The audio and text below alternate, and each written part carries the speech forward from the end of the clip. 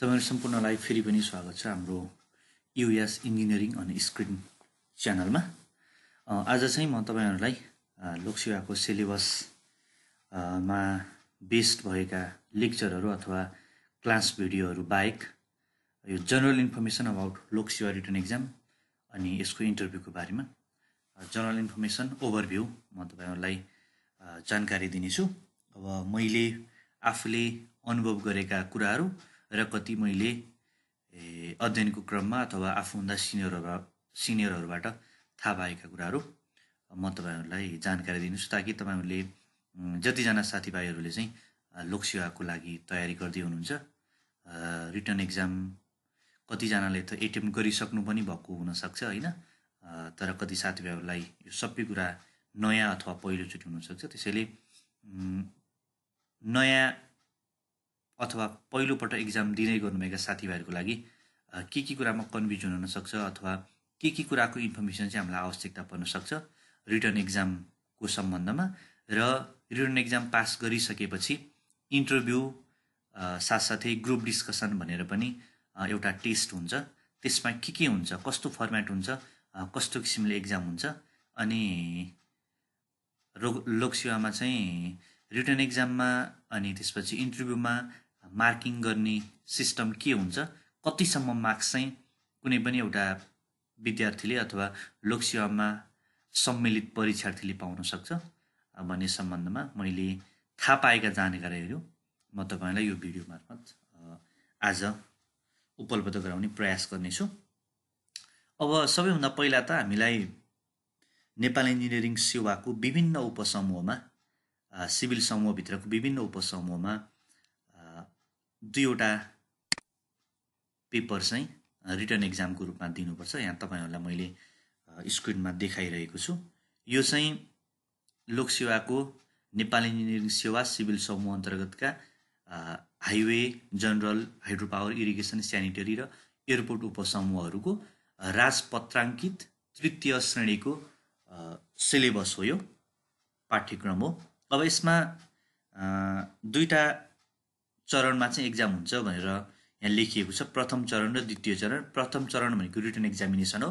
जुन चाहिँ सब्जेक्टिभ र अब्जेक्टिभ दुईवटा हुन्छ। सब्जेक्टिभ पनि हन्ड्रेड मार्क्सको यहाँनिर स्क्रिनमा तपाईँले देखिरहनु भएको छ। त्यस त्यस्तै अब्जेक्टिभ पनि हन्ड्रेड मार्क्सको फर्स्ट पेपर अब्जेक्टिभ फर्स्ट पेपरमा पनि दुईवटा पार्ट छ। Part one general awareness and general ability test भनेर फिफ्टी मार्क्सको क्वेसन आउँछ। त्यस्तै पार्ट टूमा जनरल टेक्निकल सब्जेक्ट भनेर जुन हामीले सिभिल इन्जिनियरिङको सब्जेक्टहरू ब्याचलरमा पढेका सब्जेक्टहरू छन् त्यो सब्जेक्टहरूबाट फिफ्टी मार्क्स र जनरल अवेरनेस जिके त्यसपछि आइक्यूबाट फिफ्टी मार्क्स गरेर फर्स्ट पेपर अथवा जनरल सब्जेक्ट भनेर हन्ड्रेड मार्क्सको चाहिँ अब्जेक्टिभ क्वेसन हुन्छ। अब पास मार्क्स चालिस हो अब यो कुनै पनि युनिभर्सिटीको अथवा कलेजको एक्जाम भएको भए पास मार्क्स चालिस चालिस आएपछि पास भयो भन्ने हिसाब हुन्थ्यो भने अब यो भनेको जस्ट एउटा इन्फर्मेसन मात्र हो। चालिसभन्दा कम आयो भने पास भइएन तर पास भएर नाम निस्किने भन्ने चाहिँ भएन फेरि होइन? त्यो त अब हामी सबैलाई थाहा भएकै कुरा हो। अब यसलाई अब्जेक्टिभ क्वेसन भनेर वस्तुगत क्वेसन हो अथवा एमसिक्यू हो। चारवटा अप्सन हुन्छ एउटा अप्सन छान्ने हो। एउटा राइट एन्सरको वान मार्क्स हुन्छ भने एउटा रङ एन्सरको टेन पर्सेन्ट चाहिँ नेगेटिभ मार्किङ हुन्छ। त्यो तपाईँहरूलाई थाहा छैन भने त्यो कुराहरू तपाईँहरूको जानकारीको लागि मैले भने मतलब कस्तो हुन्छ भन्दाखेरि तपाईँले सपोज नब्बेवटा क्वेसन मिलाउनु भयो भने दसवटा बिगार्नु भएकोमा तपाईँको टेन मार्क्स त गइ नै हाल्यो प्लस दसवटाको द दस पर्सेन्टका दरले अर्को एक एक मार्क्स पनि तपाईँको जान्छ भनेको एट्टी नाइन मार्क्स चाहिँ तपाईँको आउँछ अब्जेक्टिभ पेपरमा। अनि यसको लागि टाइम चाहिँ एक घन्टा तिस मिनट हुन्छ यो एक घन्टा तिस मिनटभित्र के के गर्नुपर्छ भन्दा तपाईँले हाम्रो डिफ्रेन्ट डिफ्रेन्ट सेट हुन्छ होइन? अथवा की भन्छ त्यसलाई ए बी सी डी यसरी डिफ्रेन्ट डिफ्रेन्ट कीहरू दिएको हुन्छ क्वेसन सेटमा त्यो भनेको चाहिँ तपाईँको क्वेसन सेम हो जस्ट क्वेसनको नम्बरिङ चाहिँ ए सेटमा भएको अथवा कि एमा भएको क्वेसन वान नम्बरमा भएको क्वेसन चाहिँ बीमा चाहिँ एट मार्क एट नम्बरमा अथवा सीमा वान नम्बरमा भएको डीमा चाहिँ टुवेल्भ नम्बरमा यसरी डिफ्रेन्ट डिफ्रेन्ट नम्बरमा चाहिँ क्वेसनहरू हुन्छ तर क्वेसन चाहिँ सेम हो। तपाईँले एन्सर सिटमा चाहिँ सबैभन्दा पहिला माथिपट्टि यो जुन एन्सर सिट हुन्छ यो एन्सर सिटको सबैभन्दा माथि किमा ए अथवा बी अथवा सी अथवा डी तपाईँको के हो त्यो लेख्नुपर्ने हुन्छ। तपाईँको के लेख्न छुटाउनु भयो भने तपाईँको पेपर नै चेक हुँदैन। सो यो के किमा तपाईँको कुन के हो त्यो तपाईँले सबैभन्दा पहिला लेख्नु पऱ्यो है। अनि त्यसपछि अरू तपाईँको सिभल नम्बरका कुराहरू अरू त जनरल इन्फर्मेसन जुन चाहिँ हामीले कलेजको एक्जामहरूमा अथवा कुनै अरू एक्जामहरूमा लेख्ने गर्छौँ त्यही इन्फर्मेसनहरू नै लेख्नु पऱ्यो यो मेन कि तपाईँले छुटाउनु भएन। त्यसपछि अब question number one two three यसरी यो क्वेसन नम्बर हुन्छ। त्यसपछि यतापट्टि चाहिँ एन्सर भर्नको लागि बक्स हुन्छ। त्यो बक्समा चाहिँ क्वेसन नम्बर वानको एबिसिडी मध्ये कुन हो? त्यो चाहिँ यहाँ लेख्ने गर्नुपर्छ। हामीले चाहिँ एन्सर लेख्दाखेरि चाहिँ जहिले पनि एबिसिडी एबिसिडी जुन चारवटा अप्सन हुन्छ त्यो चारवटा अप्सनको चाहिँ ए एन्सर हो अथवा बी एन्सर हो त्यो एन्सर कुन हो भनेर पत्ता लगाइसकेपछि यहाँ एन्सर लेख्दाखेरि चाहिँ जहिले पनि क्यापिटल लेटरमा लेख्ने गरौँ त्यो भयो भने स्पष्ट हुन्छ है। स्मल लेटरमा एन्सर लेख्यौँ भने अब स्पष्ट नहुन सक्छ चेक गर्ने मान्छे कन्फ्युजन हुनसक्छ सो तपाईँहरूले जहिले पनि अब्जेक्टिभ क्वेसन्सको यो एन्सर सेटमा एन्सर लेख्दाखेरि क्यापिटल लेटरमा चाहिँ लेख्ने गर्नुपर्छ। अब हाम्रो यो चाहिँ के भयो त भन्दा अब्जेक्टिभ अथवा फर्स्ट पेपर भयो। यसरी सयवटा क्वेसनको लागि एक सय तिस मिनट हुन्छ। अब यो एक्जामको टाइममा अब मान्छे अनुसार नै फरक पर्छ यो कुरा चाहिँ। अब कसैले चाहिँ क्वेसन नम्बर वान पढ्दै पढ्दै अनि त्यसको एन्सर कुन हो भनेर पत्ता लगाएपछि सपोज बी भनेर एन्सर पत्ता लगायो भने एन्सर सिटमै बी लेख्ने त्यस अनि त्यसपछि टूमा जाने टूको एन्सर सी हो भने सी लेख्ने त्यसपछि थ्रीमा जाने थ्रीको एन्सर ए हो भने ए लेख्ने यसरी गर्ने पनि गर्न सक्यो। तर त्योभन्दा राम्रो चाहिँ के हुन्छ भन्दाखेरि पहिला सर र सबै सयवटै क्वेसन चाहिँ सल्भ गर्दै अनि क्वेसनमा नै एन्सर टिक लाउँदै जाने। अनि जुन क्वेसनमा चाहिँ तपाईँ कन्फ्युजन हुनुहुन्छ अनि त्यो क्वेसनमा चाहिँ यसरी सर्कल दिएर छोड्ने है। त्यो भयो भने फेरि पछि रिपिट गर्दाखेरि कुन क्वेसन चाहिँ आफूले जानेको थिएन अथवा कुन क्वेसनमा चाहिँ कन्फ्युजन थियो त्यो कुरामा अलिकति सजिलो हुन्छ। थाहा पाउनुको लागि नत्र कहिले कहिले फेरि क्वेसन छुट्न सक्छ। यो यसरी सर्कल लागेन भने अनि त्यसपछि सबै क्वेसन सल्भ गरिसकेपछि अनि क्वेसनमा लगाएको एन्सरलाई चाहिँ त्यसपछि लास्टमा चाहिँ यो एन्सर सिटमा लेख्दै जाने गर्न पनि सकिन्छ। मैले चाहिँ अब यसरी गरेको थिएँ। तर जसलाई जसरी सजिलो हुन्छ त्यसरी गर्दा हुन्छ। तर क्वेसनमा पहिला गरेर पछि एन्सर सिटमा त्यो कपी गर्दाखेरि चाहिँ अलिकति सजिलो हुन्छ जस्तो लाग्छ है मलाई पनि। तर तपाईँहरूलाई जसरी सजिलो लाग्छ त्यसरी गर्न मिलिहाल्यो। त्यो समस्याको कुरो भएन ठुलो कुरो पनि भएन है। अब त्यसपछि सेकेन्ड पेपर हुन्छ। फर्स्ट पेपरको एक्जाम र सेकेन्ड पेपरको एक्जाम डेट त डिफ्रेन्ट डिफ्रेन्ट छ। आज सब्जेक्टिभ अथवा फर्स्ट पेपर अब्जेक्टिभ अथवा फर्स्ट पेपर भयो भने भोलि चाहिँ सब्जेक्टिभ हुन्छ। अब सब सब्जेक्टिभमा टेक्निकल सब्जेक्ट भनेर जुन सिलेबस पनि छ हामीसँग यसरी सेक्सन ए सेक्सन बी अनि सेक्सन सी सेक्सन डी चारवटा सेक्सन अनि चारवटै सेक्सनमा कुन सेक्सनबाट कति मार्क्स आउँछ भनेर पनि यसरी सिलेबसमा नै दिएको नै छ। होइन तपाईँहरूले हेरि पनि सक्नु भएको छ होला। सेक्सन एबाट थर्टी मार्क्सको आउँछ त्यस्तै सेक्सन बीबाट ट्वेन्टी फाइभ मार्क्सको त्यस्तै सेक्सन सीबाट ट्वेन्टी फाइभ मार्क्सको र सेक्सन बीबाट अर्को ट्वेन्टी मार्क्स गरेर टोटलमा हाम्रो कति मार्क्सको हुन्छ त हन्ड्रेड मार्क्सको सेकेन्ड पेपरको क्वेसन हुन्छ। यसमा चारवटा क्वेसन हुन्छ फाइभ मार्क्सको र आठवटा क्वेसन हुन्छ टेन मार्क्सको। यसरी पाँच सौको बिस र दस आठ अस्सी गरेर सय मार्क्सको टोटल एक्जाम हुन्छ र यो टाइम चाहिँ तिन घन्टाको हुन्छ। अब यो सब्जेक्टिभमा चाहिँ कस्तो हुन्छ भन्दाखेरि तपाईँहरूलाई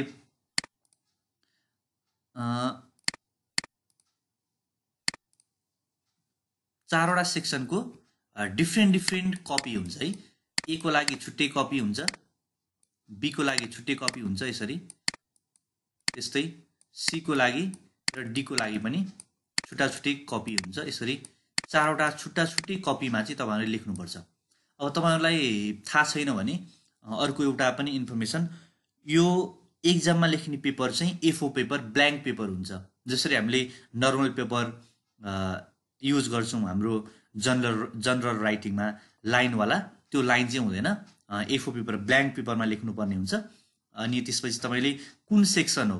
हरेक कपीको अगाडिपट्टि चाहिँ कुन सेक्सनको हो त्यो कपी त्यो सेक्सन पनि स्पष्ट रूपमा लेख्नु पऱ्यो है। त्यो सेक्सन लेख्न छुट्याउनु भयो भने पनि तपाईँको कपी चेक हुँदैन।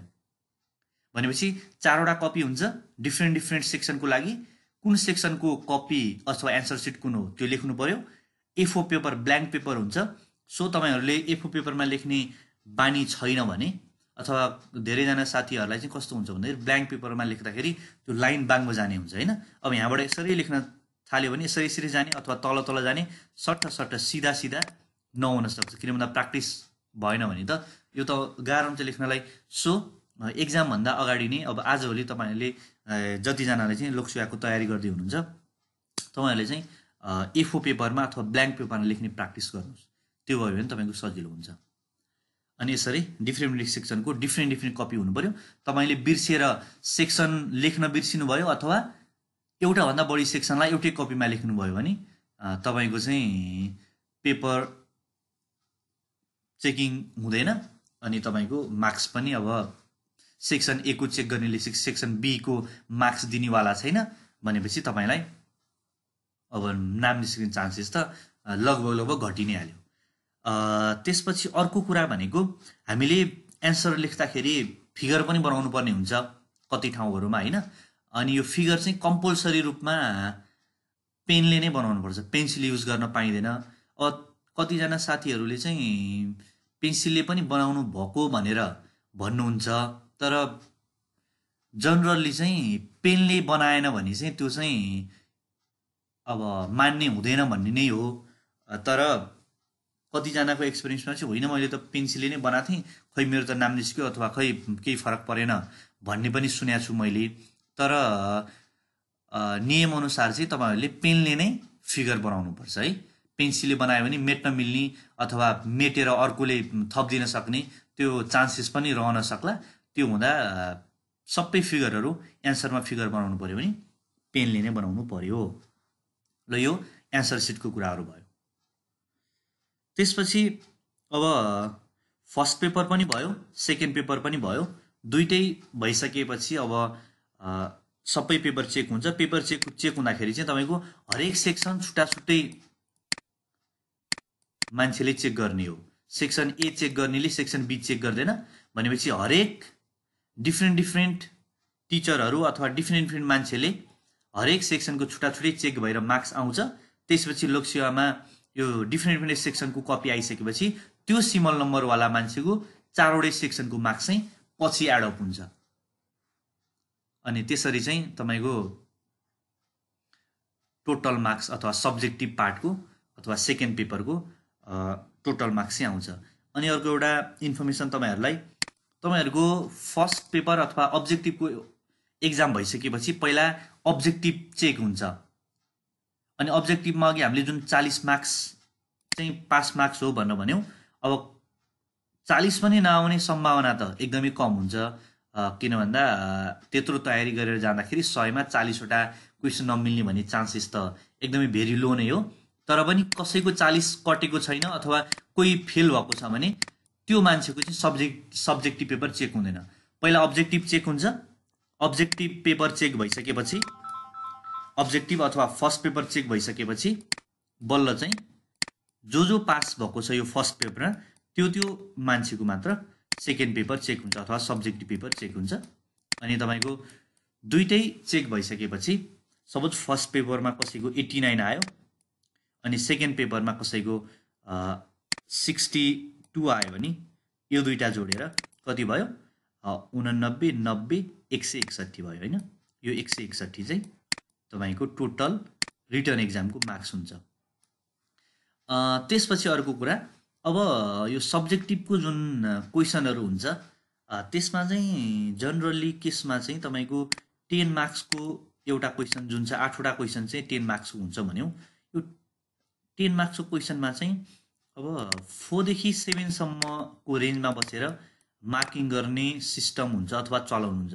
किन भन्दाखेरि कुनै पनि क्वेसनको एन्सरमा चारभन्दा कम दिनु पऱ्यो अथवा सेभेनभन्दा बढी दिनु पऱ्यो भने चाहिँ त्यहाँनिर कमेन्ट लेख्नुपर्छ कि। चारभन्दा कम दिनु पनि किन दिनु पऱ्यो त्यसको कमेन्ट र सातभन्दा माथि दिन पनि एकदमै एक्सेसिभ राम्रो लेख्यो भने बल्ल सातभन्दा माथि आउँछ दसमा सो जनरल्ली है अब कसैले एकदमै राम्रो लेख्नुभयो भने त एट आउन सक्छ अथवा नाइन नै आउन सक्ला। न्युमेरिकलवाला क्वेसन छ भने त अझ एकदमै पर्फेक्ट लेख्नु भएको छ भने टेनै पनि आउन सक्ला।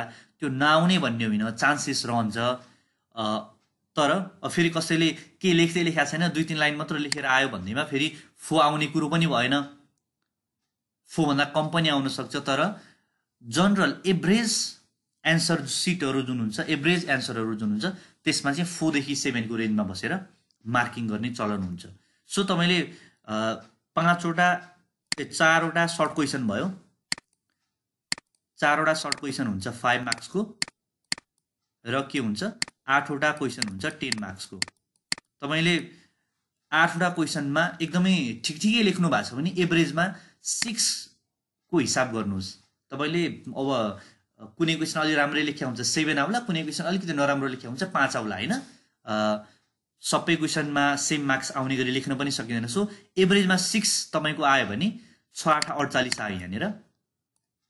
अब म्याक्सिमम् भनेको जनरल्ली अब आठवटा क्वेसनमा छप्पन्नभन्दा बढी आउने केस भनेको एकदमै रेयरै हुन्छ है? अनि त्यसपछि यो फाइभ मार्क्सवाला क्वेसन जुन छ त्यसमा चाहिँ अब टेनमा फोर भने जस्तै फाइभमा टूदेखि थ्री पोइन्ट फाइभसम्मको रेन्जमा आउँछ। तपाईँको ल मान्नुहोस् एकदमै राम्रै राम्रै लेख्नुभयो। थ्रीको एभरेजमा अथवा हरेक क्वेसनमा थ्री थ्री मार्क्स आउँदाखेरि चार त्यहाँ बाह्र मार्क्स आयो। भनेपछि पचास साठी चाहिँ आयो होइन टोटल सब्जेक्टिभमा यसरी जनरल भनेको यही तिनको एभरेजमा अथवा साढे तिन म्याक्सिमम् आउँदाखेरि चार त्यहाँ बाह्र लगभग चौध पन्ध्रसम्म यो पचपन्न छप्पन्नसम्म हुँदाखेरि पचपन्न र पन्ध्र हुँदाखेरि सत्तरी। बढीमा सत्तरीसम्म अब कसै कसैको चाहिँ त्योभन्दा बढी आउला नत्र यही अराउन्डमा दुई चार मार्क्स पाँच सात मार्क्स तलमाथि हुने गरी नै मार्क्सहरू चाहिँ आइरहेको हुन्छ है। यो मैले तपाईँहरूलाई मार्किङ सिस्टमको सामान्य इन्फर्मेसन दिएँ। अब यसरी टोटल सब्जेक्टिभको मार्क्स र अब्जेक्टिभको मार्क्स सपोज अघि पनि मैले भने तपाईँले नब्बेवटा मिलाउनु भयो।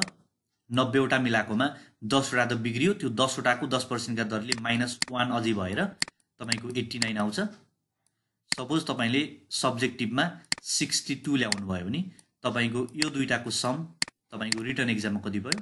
वान फिफ्टी वान भयो होइन? हो यो वान फिफ्टी वान तपाईँको रिटर्न एक्जामबाट आयो। अब त्यसपछि यसरी डिफ्रेन्ट डिफ्रेन्ट मान्छेहरूको डिफ्रेन्ट नम्बर आउँछ। पोइन्टमा पनि आउँछ कसैको one fifty one one fifty one forty nine यसरी। अनि कतिजनाको भ्याकेन्सी छ? सपोज दसजनाको भ्याकेन्सी छ भने चाहिँ जनरल्ली तिस पर्सेन्ट माथिको नम्बर अथवा दसजना छ भने तेह्रजनाको नाम चाहिँ लोकसेवाले इन्टरभ्यूको लागि भनेर पब्लिस गर्छ। दसवटा कोटा छ भने जनरली तेह्रजनाको नाम चाहिँ यसरी अल्फाबेटिकल अल्फाबेटिकल अर्डरमा पब्लिस गर्छ तेह्रजनाको नाम अनि यो तेह्रजनालाई चाहिँ इन्टरभ्यूको डेट तोकिएर अनि इन्टरभ्यू हुन्छ। अब इन्टरभ्यूमा के हुन्छ त? इन्टरभ्यूमा पनि दुईवटा छ। एउटा सामूहिक परीक्षण ग्रुप टेस्ट भनेर टेन मार्क्सको छ भने अर्को इन्टरभ्यू अन्तर्वार्ता भनेर तिस मार्क्सको छ। यो सामूहिक परीक्षण ग्रुप टेस्ट जुन छ यसमा चाहिँ ग्रुप डिस्कसन हुन्छ। ग्रुप डिस्कसन केमा हुन्छ त भन्दाखेरि जुन समसामयिक टपिकहरू छ जस्तै विकेन्द्रीकरण त्यसपछि दिगो विकास अनि अरू गरिबी निवारण त्यसपछि आरक्षण सकारात्मक विभेद अथवा देशको अहिलेको करेन्ट सिचुएसनको बारेमा होइन? त्यसपछि कर्मचारी तन्त्रको अवधारणा अथवा कर्मचारी तन्त्रको विकल्प यस्तै यस्तै। जुन समसामयिक टपिक जुन प्रशासनसँग सम्बन्धित अनि देशसँग रिलेटेड हो यस्तो टपिकहरूमा चाहिँ तपाईँको ग्रुप डिस्कसन हुन्छ। ग्रुप डिस्कसनको टाइममा चाहिँ चार पाँचजना त्यहाँनिर मान्छेहरू हुन्छन् अथवा ग्रुप डिस्कसन चेक गर्ने। उनीहरूले एउटा पेपरमा टपिक हुन्छ। त्यो टपिक चाहिँ हामीलाई दिइन्छ। सबैजना चारजनाको ग्रुप चार चारजनाको ग्रुपमा चाहिँ इन्टरभ्यू लिइन्छ। ग्रुप डिस्कसन हुन्छ। यसरी एकजना दुईजना तिनजना चारजना मान्छे एबिसिडी चारवटा मान्छे छ भने यो टेबलको यसरी गोलो हुने गरी चारजना छुट्टा छुट्टै बसिन्छ टपिक दिइन्छ यहाँ बिचमा टपिक हुन्छ। अनि यो टपिक हेर्नलाई दुई मिनट टाइम दिन्छ दुईदेखि तिन मिनट। यो टपिक के छ? चारैजनाले अनि हेरेर अब दिमागमा चाहिँ त्यो टपिक रिलेटेड चाहिँ के भन्ने त आफ्नो आफ्नो नलेज कलेक्ट गर्ने होइन? सोच्ने। सपोज तपाईँको आरक्षणसँग सम्बन्धित टपिक आयो भने अब टपिक आफूलाई थाहा भइसकेपछि आरक्षणको बारेमा यसो आफूले तयारी गरेका कुराहरू किन भन्दा इन्टरभ्यू जानुभन्दा अगाडि पनि यी टपिकहरूको बारेमा धेर थोर केही न केही पढेको हुन्छ सुन्नेको हुन्छ। अनि सोच्ने दुई तिन मिनट दुई अथवा तिन मिनट टाइमपछि चाहिँ अनि आफैले उनीहरूले त्यहाँ चेक गर्न बसेको मान्छेहरूले चाहिँ केही अब केही साइन चाहिँ केही सङ्केत गर्दैन। जस्ट दुई मिनटको टाइमपछि कसैले सुरु गर्ने हो। अब तपाईँ ए भन्ने मान्छे हुनुहुन्छ भने अब सुरुमा म सुरु गर्छु भनेर दुई मिनट सकेपछि तपाईँले सुरु गर्दा हुन्छ। अथवा होइन साथीहरूले अरू साथीहरूले भनुन्। अनि अरू साथीहरूले भनेको कुरा पनि म समेट्छु। त्यसपछि अझै म थप कुराहरू पनि भन्छु भन्ने तपाईँको त्यो टाइपको प्लानिङ छ भने चाहिँ अरूले बोलेपछि पनि बोल्दा हुन्छ। अब यसरी ए भन्ने मान्छेले बोल्छ एक दुई मिनटको टाइम हुन्छ त्यसपछि अर्को मान्छेले बोल्छ सपोज बीले बोल्यो अनि त्यसपछि सीले बोल्यो डीले बोल्यो। अब एक राउन्ड बोलिसकेपछि कसैलाई थप्न मन लाग्यो भने अझै एले बोल्यो बीले बोल्यो सीले बोल्यो डीले बोलिसकेपछि फेरि बीले बोल्न सक्छ होइन? त्यसरी एक राउन्ड जनरली दुई राउन्डसम्म चाहिँ बोल्ने चलन हुन्छ किन भन्दा पहिलो राउन्डमा चाहिँ सबैले आफ्नो नलेजको आधारमा आफ्नो एक्सपिरियन्सको आधारमा आफ्नो कुराहरू राख्ने भयो। त्यसपछि अरू साथीहरूले राखेको कुराहरूलाई पनि त्यसको खण्डन गरेर अथवा त्यो टप उनीहरूको लजिकलाई पनि जोडेर चाहिँ अब फेरि आफ्नो नयाँ कुरा राख्नुपर्ने हुन्छ। अब सकेसम्म चाहिँ त्यहाँ धेरै बोलेको चाहिँ फाइदा होइन। किन भन्दा वरिपरि बसेका अब यहाँ वरिपरि चाहिँ जज गर्ने मान्छेहरू बसेका हुन्छन् रुममा तिन चारजना हुन्छन्। डिफ्रेन्ट डिफ्रेन्ट प्रोफेसनको मान्छेहरू हुन्छ है। अनि त्यसपछि यसरी चारजनाले बोलेको चारजनाको लजिक सुनेर उनीहरूले मार्किङ गर्ने हो टेनमा। अनि त्यहाँनिर पनि तिन चारजना हुन्छन्। उनीहरूको मार्क उनीहरूको चारैजनाको मार्क्स छुट्टा छुट्टै लिएर त्यो छुट्टा छुट्टै मार्क्सलाई एभरेज गर्ने हो। अनि यसरी तपाईँको ग्रुप डिस्कसनमा मार्क्स आयो। लास्टमा सबैजनाले बोलिसकेपछि एकजनाले चाहिँ अब कन्क्लुड गर्ने चलन हुन्छ। अब हाम हाम्रो टाइममा चाहिँ मैले तेस्रोमा बोलेको थिएँ होइन? दुईजना साथीहरूले बोलिसक्नु भएपछि अनि फेरि अर्को राउन्डमा पनि एक दुई मिनट बोलेँ र लास्टमा चाहिँ अर्को साथीले एवाला साथीले चाहिँ कन्क्लुड गर्नुभएको थियो। मैले चाहिँ कन्क्लुड चाहिँ गरिनँ तर अर्को साथीले गर्नुभएको थियो। तर कन्क्लुड गर्दाखेरि तपाईँलाई केही न केही फाइदा चाहिँ हुनसक्छ किन भन्दा आफूले बोल्ने टाइम धेरै पाउँदाखेरि आफ्नो कुराहरू राख्ने टाइम बढी भयो भनेपछि आफ्नो आइडियाहरू चाहिँ दिने टाइम आफूले बढी पाएपछि केही न केही फाइदा चाहिँ हुनसक्छ। तर त्यस्तो विधि बिग डिफ्रेन्स चाहिँ हुँदैन तर फाइदा हुनसक्छ। सो यसरी ग्रुप डिस्कसन हुन्छ समसामयिक टपिकहरूमा। अब यो ग्रुप डिस्कसनबाट सपोज तपाईँको टेनमा फाइभ पोइन्ट फाइभ आयो। चार पाँचजना जुन चेकरहरू हुन्छ त्यो सबैजनाको मार्क्स चाहिँ लिएर एभरेजिङ गरिन्छ। भनेपछि अघि तपाईँको वान फिफ्टी वान थियो केमा रिटर्न एक्जाममा अब फाइभ पोइन्ट फाइभ भनेपछि तपाईँको one fifty six point five भयो हो। ग्रुप डिस्कसन पछि। अब ग्रुप डिस्कसन पछि के हुन्छ? ग्रुप डिस्कसन पछि इन्टरभ्यू हुन्छ। इन्टरभ्यू तिस मार्क्सको हुन्छ। इन्टरभ्यू पनि यस्तै समसामयिक विषयमा तपाईँको आफ्नो अनुभवको बारेमा त्यसपछि संविधानका कुराहरू देशका कुराहरू यस्तै टपिकहरूमा चाहिँ तपाईँको क्वेसनहरू सोधिन्छ। तिनजना इन्टरभ्यू लिने मान्छेहरू हुन्छन्। एकजना चाहिँ लोकसेवाकै कोही कर्मचारी अथवा प्रतिनिधि हुन्छ। अर्को दुईजना चाहिँ टेक्निकल सब्जेक्ट रिलेटेड एक्सपर्टहरू हुन्छन्।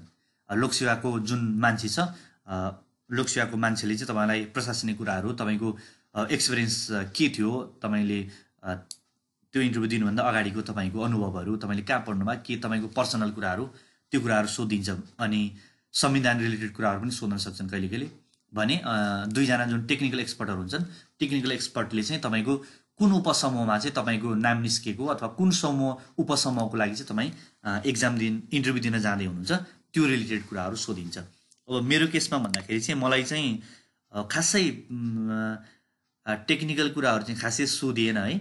अब मेरो अब प्रिभियस एक्सपिरियन्सहरू कहाँ काम गर्नुभएको थियो के गर्नुभएको थियो अब मैले कन्सल्टेन्ट इन्जिनियर भएर काम गरेको थिएँ जाइकाको प्रोजेक्टमा। अब के के गर्नुभयो? अब त्यही आफ्नो ड्युटीहरू कसरी गर्नुभयो भन्ने कुराहरू रिलेटेड त्यही कुराहरू नै सोधियो। त्यसपछि एक्सपर्टबाट चाहिँ एउटा कि दुइटा मात्र टेक्निकल क्वेसन सोध्नु भएको थियो। मेरो इन्टरभ्यू चाहिँ जस अलिकति चाँडै नै सकेको फिल भयो मलाई। किन भन्दा बाहिर कुरेर बस्दाखेरि अरू साथीहरूको भन्दा मेरो चाहिँ अलिकति कम टाइममै सके जस्तो फिल भएको थियो। जस अब समसामयिक विषय रिलेटेड कुराहरू टेक्निकल कुराहरू त्यो रिलेटेड कुराहरू चाहिँ इन्टरभ्यूमा सोधिन्छ। अब इन्टरभ्यूको जुन त्यो थर्टी मार्क्स छ त्यो थर्टी मार्क्समा पनि जनरली है सेभेन्टीदेखि एट्टी फाइभ पर्सेन्टको बिचमा चाहिँ रहेर मार्क्स दिने चलन हुन्छ। सो भनेपछि तपाईँको सात यहाँ कम्तीमा एक्काइस बढीमा पच्चिस छब्बिससम्म चाहिँ इन्टरभ्यूमा मार्क्स आउन सक्छ। अब के भन्दै भनेन के जान्दै जानेन भने त अब कम एक्काइसभन्दा कम पनि आउला तर रिटर्न एक्जाममा नाम निकालेर सम्भावित उम्मेदवार भइसकेपछि यो एक्काइस पनि नल्याउने गरी चाहिँ कोही पनि जाँदैन है? तयारी गर्दाखेरि सामान्य क्वेसनहरू नै सोध्ने चलाउनु हुन्छ भनेपछि एक्काइस नल्याउने कोही हुँदैन। र जतिसुकै राम्रो गरे पनि पच्चिस छब्बिसभन्दा बढी खासै दिइँदैन। लगभग दिइँदैन नै भन्दा हुन्छ। भनेपछि त्यहाँ पनि तिनजना हुन्छन् एबिसी तिनजना एक्जामिनर हुन्छन्। तिनजनाको मार्क्सको एभरेज तपाईँको त्यही बाइस तेइस आउन सक्ला। भनेपछि अघि कति थियो? एक सय एकाउन्न रिटर्नमा त्यसपछि इन्टरभ्यूमा five point five sorry group डिस्कसनमा र तपाईँको इन्टरभ्यूमा बाइस आयो भने कति भयो त टोटल? एक सय एकाउन्न एक सय छप्पन्न पोइन्ट पाँच सन्ताउन्न अन्ठाउन्न पोइन्ट पाँच एक सय अठहत्तर पोइन्ट पाँच तपाईँको टोटल मार्क्स आयो। अब यो टोटल मार्क्स जुन छ यसलाई आधार मानेर तपाईँको तेह्रजना जुन अघि मैले भने दसजनाको भ्याकेन्सी छ भने तेह्रजनाको नाम निकाल्छ इन्टरभ्यूको लागि भनेर अब चाहिँ ऱ्याङ्किङ वाइज तपाईँको नाम दसजनाको पब्लिस गर्छ रिजल्टको रूपमा नियुक्तिको लागि भनेर। यसरी तपाईँको टोटल मार्क्स आइसकेपछि बल्ल तपाईँको नाम निस्क्यो निस्केन के भयो भन्ने कुरा थाहा भयो। अब यसरी अहिले चाहिँ हामीले एक सय अठहत्तर पोइन्ट पाँचको हिसाबमा गयौँ। तपाईँको लोकसेवामा चाहिँ पछाडिको दुईवटा डिजिटले समेत कहिले कहिले फरक पार्छ। यसरी एक सय अठहत्तर पोइन्ट फाइभ सिक्स फाइभ आउँदाखेरि अर्कोको एक सय अठहत्तर पोइन्ट फाइभ फोर थ्री आएर पनि नाम ननिस्किएको केसहरू पनि छ है। भनेको पोइन्ट पछाडिको पनि सेकेन्ड डिजिटले गर्दाखेरि पनि कहिले कहिले नाम निस्किँदैन। भनेपछि अब एक सय अठहत्तर सबभन्दा हाइएस्ट हो भने एक सय फिफ्टी सेभेनसम्मको नाम निस्केला। जस अब ऱ्याङ्किङ वाइज गरिन्छ अनि दसजनाको नाम निकालिन्छ। अरू बाँकी एकजना अथवा दुईजनालाई चाहिँ वैकल्पिक उम्मेदवार भनेर राखिन्छ। यसरी तपाईँको टोटल मार्क्स इभ्यालुएसन हुने भयो। सब्जेक्टिभ अब्जेक्टिभ यो गरेर। त्यसपछि अब रिजल्ट हुँदाखेरि चाहिँ तपाईँको कति मार्क्स आयो भनेर थाहा हुँदैन। रिजल्ट भएको दिनमा चाहिँ ऱ्याङ्किङ वाइज लिस्ट मात्र निकाल्छ। र रिजल्ट भएको लगभग पाँच सात दिन एक हप्तापछि चाहिँ लोकसेवाको वेब वेबसाइटमा गएर तपाईँले आफ्नो सिमल नम्बर अनि डेट अफ बर्थ हानेर तपाईँको मार्क्स कति हो भनेर हेर्न सक्नुहुन्छ। मेरो चाहिँ एक सय चौहत्तर पोइन्ट समथिङ आएको थियो कि जस्तो लाग्छ मलाई मैले एक्ज्याक्ट चाहिँ बिर्सेँ। त्यो मार्क्स फेरि एक हप्ताभन्दा बढी हुँदैन वेबसाइटमा। रिजल्ट पब्लिस भएको पाँच सात दिनपछि वेबसाइटमा आउँछ। तपाईँले लगइन गरेर अथवा सिमल नम्बर र डेट अफ बर्थ हानेर नम्बर हेर्न मिल्यो तपाईँको कति टोटल हो भनेर अनि त्यसको पाँच सात दिनपछि फेरि त्यो अटोमेटिकली त्यहाँबाट रिमुभ हुन्छ। तपाईँले पछि जहिले सुकै चाह्यो भने हेर्न सक्नुहुन्न। अब अहिले मैले मेरो मार्क्स दुई हजार चौहत्तर सालको मार्क्स चाहिँ अहिले हेर्न चाहेँ भने चाहिँ मैले हेर्न सक्दिनँ। सो यसरी हाम्रो लोकसेवाको सब्जेक्टिभ अब्जेक्टिभ इक्जाम हुन्छ। त्यसपछि टोटल मार्क्स क्यालकुलेसन हुन्छ। अनि तपाईँको रिजल्ट पब्लिस हुन्छ। अघि मैले तपाईँलाई भने यसरी यो टु थाउजन्ड सेभेन्टी सिक्सको ओल्ड क्वेसन सोल्युसन हो यसरी डिफ्रेन्ट डिफ्रेन्ट सेक्सन एको छुट्टै अनि सेक्सन बीको छुट्टै त्यसपछि सेक्सन सीको छुट्टै कपी अनि लास्टमा सेक्सन डीको छुट्टै कपी यसरी डिफ्रेन्ट डिफ्रेन्ट सेक्सनको लागि डिफ्रेन्ट डिफ्रेन्ट कपी युज गर्नु पऱ्यो एन्सर चाहिँ डिफ्रेन्ट डिफ्रेन्ट हुन्छ। यो त्यही सिलेबसकै कुराहरू भयो के के हुन्छ भनेर यो पनि सब्जेक्टिभको सिलेबस हो। सब्जेक्टिभ अथवा अब्जेक्टिभको सिलेबस चाहिँ तपाईँहरूले तपाईँहरूसँग छैन र तपाईँहरूलाई चाहियो भने चाहिँ यो लोकसेवाको PSC dot G O V dot NP भन्ने वेबसाइटमा तपाईँहरू गएर यहाँनिर डाउनलोड भन्ने छ। डाउनलोडमा पाठ्यक्रम छ। पाठ्यक्रमभित्र गएर कुन सेवा हो? हाम्रो नेपाल इन्जिनियरिङ सेवा हो र श्रेणी कुन हो? रापत तृतीय हो होइन? तपाईँ इन् इन्जिनियर भनेको रापत तृतीय भयो। अनि यो सर्च गर्नुभयो भने यसरी डिफ्रेन्ट डिफ्रेन्ट नेपाल इन्जिनियरिङ सेवा अन्तर्गतको डिफ्रेन्ट डिफ्रेन्ट छ। सिभिलको चाहिँ यहाँ सेकेन्डमा गयो भने तपाईँले नेपाल इन्जिनियरिङ रापत तृतीय सिभिल जनरल हाइवे सबै उपसमुको लागि। यो फर्स्ट पेपर यो सेकेन्ड पेपर हो। तपाईँ यसरी डाउनलोड गरेर अनि सिलेबस हेरेर पढ्न सक्नुहुन्छ। त्यही अनुसार तयारी गर्न सक्नुभयो। सो तपाईँहरूलाई मैले लोकसेवाको अलिकति जनरल इन्फर्मेसन अब लोकसेवाको रिटर्न एक्जाम र इन्टरभ्यूको बारेमा भने तपाईँहरूलाई अझै पनि केही कुराहरूमा चाहिँ कन्फ्युजन छ भने कमेन्ट बक्समा गएर कमेन्ट लेख्नुहोला। मलाई थाहा भएसम्मको इन्फर्मेसन चाहिँ म तपाईँहरूलाई प्रोभाइड गर्ने नै छु।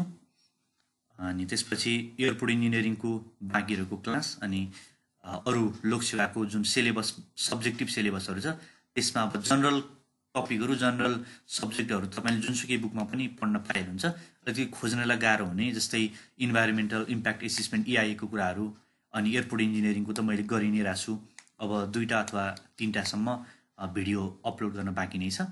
त्यो अनि अरू कुनै टपिकहरू चाहिँ तपाईँहरूलाई गाह्रो लागिरहेछ अथवा अन्य बुकहरूमा अन्य सोर्सहरूबाट पढ्दाखेरि तपाईँहरूले के हो भनेर एक्ज्याक्ट इन्फर्मेसन पाइरहनु भएको छैन अथवा एक्जाममा लेख्ने गरी कुराहरू चाहिँ भेटाइरहनु भएको छैन भने चाहिँ कमेन्टमा भन्नु होला अथवा मेरो फेसबुक मेसेन्जरमा पनि म्यासेज गर्न सक्नुहुन्छ हरि प्याकुरेल भनेर छ। अनि तपाईँहरूले चाहिँ मलाई म्यासेज गर्नुहोस् कमेन्ट गर्नुहोस्। म सकेसम्म सम्भव भएसम्म टाइम भएसम्म र मैले थाहा पाएसम्म चाहिँ एन्सर दिने प्रयास चाहिँ म गर्नेछु। है? Okay thank you